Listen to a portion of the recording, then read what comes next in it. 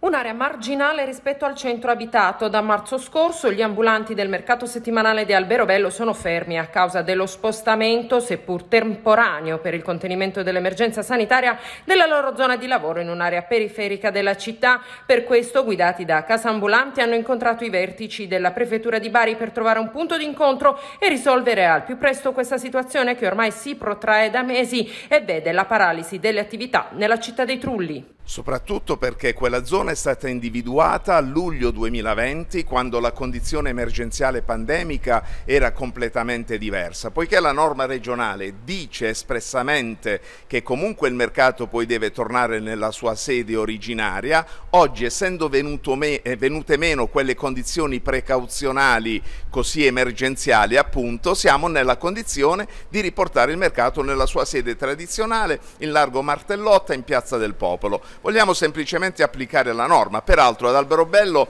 si stanno facendo tutte le manifestazioni, sono riprese le manifestazioni pubbliche proprio nel luogo dove si svolgeva il mercato, quindi riteniamo che sia una scelta doverosa e naturale.